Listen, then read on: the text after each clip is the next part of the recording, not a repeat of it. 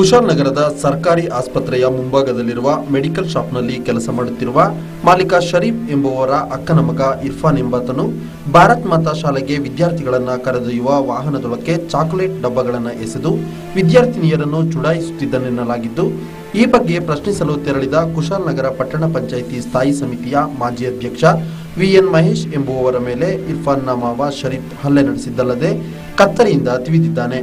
ಪರಿಣಾಮವಾಗಿ ಮಹೇಶ್ ಅವರ ಕೈಭಾಗಕ್ಕೆ ತೀವ್ರ ಗಾಯವಾಗಿತ್ತು ಕುಶಾಲ್ ನಗರ ಆಸ್ಪತ್ರೆಗೆ ದಾಖಲಾಗಿದ್ದಾರೆ. ಗಾರ್ಮೆಂಟ್ಗೆ ಭಾರತ ಭಾರತ್ ಮತ ಹೋಗುವಂಥ ಗಾರ್ಮೆಂಟ್ ಮಕ್ಕಳಿಗೆ ಆ ಮೆಡಿಕಲ್ ಶಾಪಲ್ಲಿ ಶರೀಫನ ಅಕ್ಕನ ಮಗ ಎಲ್ಲ ಚುಡಾಯಿಸಿ ಚಾಕ್ಲೇಟನ್ನು ಕೊಡುವಂಥ ಅಭ್ಯಾಸದಲ್ಲಿದ್ದರು ಮಕ್ಕಳು ಎಲ್ಲ ಏರಿಯಾದ ಮಕ್ಕಳು ನಾನು ಕಂಪ್ಲೇಂಟ್ ಮಾಡಿದ್ರು. ಮಾಡೋ ಟೈಮಲ್ಲಿ ಅವನು ಅಂಗಡಿ ಒಳಗೆ ಇದ್ದ. ಕೇಳಿದಾಗ ಅವನಿಗೆ ಎಳೆದು ಎಳಿಬೇಕಾದ್ರೆ ಆ ಅಂಗಡಿಯ ಗ್ಲಾಸ್ ಹೊಡೆದೋಯ್ತು.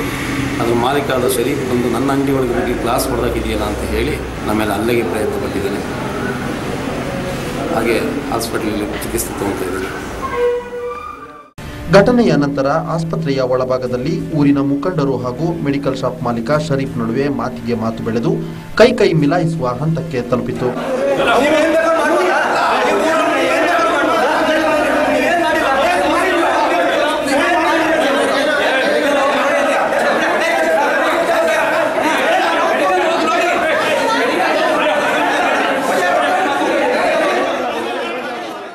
ಈ ಸಂದರ್ಭ ಮಧ್ಯಪ್ರವೇಶಿಸಿದ ಪೊಲೀಸರು ಪರಿಸ್ಥಿತಿಯನ್ನ ಶಾಂತಗೊಳಿಸಿ ಆರೋಪಿ ಶರೀಫ್ನನ್ನ ಬಂಧಿಸಿದ್ದಾರೆ.